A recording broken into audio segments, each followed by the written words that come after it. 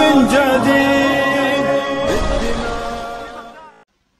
بسم الله الرحمن الرحيم. السلام عليكم ورحمة الله وبركاته. نعد إن شاء الله النهاردة مع حلقة جديدة من سلسلة تعليم الإلكترونيات للمبتدئين.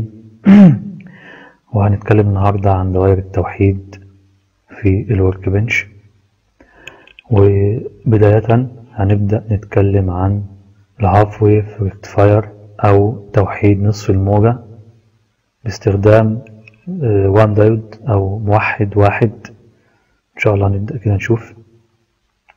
بداية هنبتدي نجيب ال component اللي عندي. نفتح برنامج Workbench وهنجيب ال component. أول حاجة هجيبها نجيب ال earth اللي هو ال ground بتاعي أرض بتاع الدايرة. بعد كده هجيب حاجة اسمها voltage controlled sine wave ده نعمل stop كده ونقول إن ال ال voltage control sine wave ده يعتبر مصدر إشارة sine wave أنا عايز منبع إشارة sine wave دي اللي هعمل عليها عملية ال rectifier معنى sine wave يعني موجة جيبية يعني AC current. يعني مصدر فولت تيار متغير. تمام؟ هنبدأ دلوقتي نكمل الشرح. هنبدأ نوصل الدائرة زي ما إحنا شايفين كده. هنجيب بقية الأجهزة. هنجيب جهاز اللي هو الأسلسكوب نحطه مكانه. بعد كده هنبدأ نجيب الدايود. نحطه مكانه.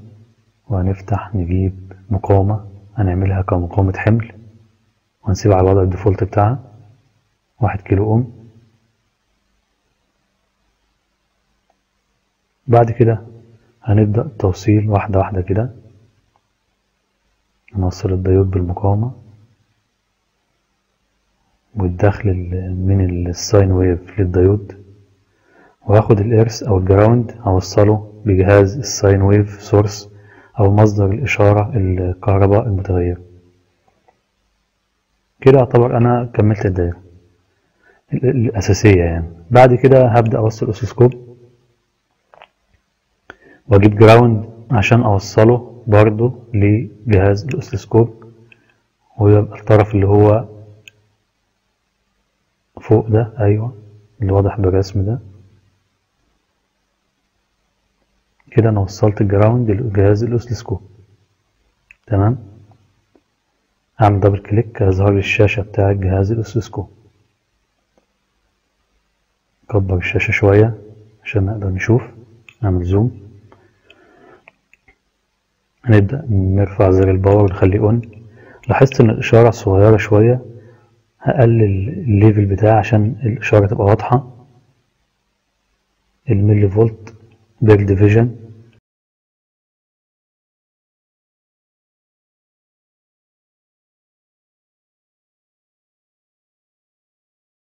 كده بدأت الإشارة تظهر معايا. تمام؟ لاحظنا إنها أنصاف موجات مش موجة كاملة. يعني الديود قسم الإشارة نصين. خد منها الأجزاء الموجبة بس. الديود خد الأنصاف الموجبة هي اللي خرجت في الخارج. وطبعا الجزء اللي هو السالب ده خلاص اتشال من الإشارة. ده بيسموه توحيد نصف الموجة. أو ال half wave rectifier لو حبينا نميز الخارج كده نغير لون السلك عشان نشوف الإشارة تتغير معايا هنلاقيها بقت باللون الأحمر زي ما إحنا شايفين. طبعا الإشارة دي عمليا لا تستخدم بس لو حبينا إن إحنا نعملها عملية rectifier هنشوف بقى تنعيم أكتر. يعني أحب أنعمها هبتدي أحط مكثفات في الخارج عشان يتم تنعيم الإشارة. زي ما قلنا إن دي عملية مكلفة. عشان أعمل إشارة للسان ويف عملية مكلفة جدا وتحتاج كمية مكثفات كبيرة وبرضه مش هحصل على النتيجة الإيه؟ المرجوة جوه البرنامج هنا أنا بحط قيم مكثفات تعتبر قريبة من الخيالي شوية. يعني قيم ممكن تكون مش موجودة في السوق عشان أوصل لأفضل إشارة تنعيم هنشوف دلوقتي معانا كده هنجيب مكثف ونبدأ نحطه في الخارج زي ما إحنا شايفين كده. ال default بتاعه واحد مايكرو أنا هغيره أخليه مثلا أي قيمة أخليه ألف مايكرو مثلا ونشوف ألف micro farad ونشوف الخارج شكله اتغير إزاي. هنلاحظ دلوقتي هيعطيني نوصل تمام. نوصل الطرف الثاني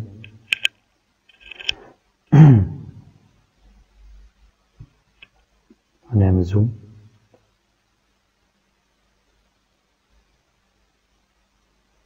هبدأ دلوقتي. أرفع ال power وأشوف شكلها. لاحظنا شكل الخارج عامل إزاي؟ شكل الخارج عامل كده. شحن وتفريغ للإشارة. شحن وتفريغ. زمن التفريغ اللي هو الزمن النازل بتاع الإشارة ده. المكثف بيشحن من خلال الإشارة ويبتدي يفرغ. المكثف هو فايدته شحن وتفريغ. كل ما كبر قيمة ال- ال micro farad كل ما زمن التفريغ يكاد يكون يقترب من الخط المستقيم. يعني عملية التنعيم تزيد. هنشوف كده مع بعض. أيوة. أنا كبرته قوي خليته عشرة آلاف مايكرو لا طب ننزل شوية تحت. عشان نبدأ نشوف التغيير. عشرة آلاف مايكرو دي كبيرة جدا. خليها مثلا خمس تلاف مايكرو ولا أقول لك خليها ألفين وخمسمية الأول. ونبدأ نشوف كده إيه شكل الخارج شكله عامل إزاي. أهو. يعني.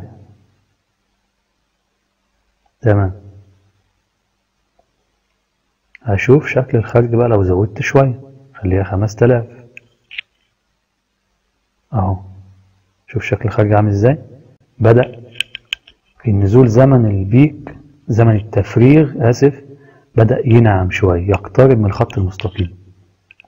لما نخليه بقى عشر تلاف مايكرو. دي قيمة عملية مش عارف موجودة في السوق ولا لأ ما أظنش. هنبتدي نشوف أيوه.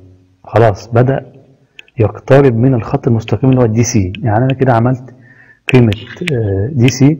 لكن عمليا أنا مش هلاقي كمية المكثفات دي. طبعا مش هلاقي مكثف 10000 مايكرو. ده صعب إن أنا ألاقيه في السوق. عايز تعمل مراحل كبيرة جدا من ال micro farad عشان تحصل على السعة دي. وفي النهاية أنا ممكن ما أحصلش على النتيجة المرجوة برضه. فال half wave rectifier هو not practical هو مش عملي. بس إحنا بندرسه عشان نعرف بعديه نوع تاني من التوحيد اللي هو ال full wave خلينا دلوقتي إحنا في ال half wave rectifier أو توحيد نص الموجة زي ما إحنا شايفين كده. هتلاحظ في بداية ال on في transition لازم الموجة بتطلع لفوق الأول وبعد كده تدي الخط المستقيم بتاعنا فده بيسموه transition time أيوه. بعد خلاص عملت on و transition time حصل بتبتدي الإشارة تستقر. يعني هي tends to DC يعني تقترب من ال DC لكن هي مش DC pure تمام؟ إحنا وصلنا كمان ل 20 مايكرو 20 ألف micro farad القيم دي. مش متوفرة في السوق يعني أو تكاد تكون نادرة. إن كانت موجودة أصلا يعني. تمام؟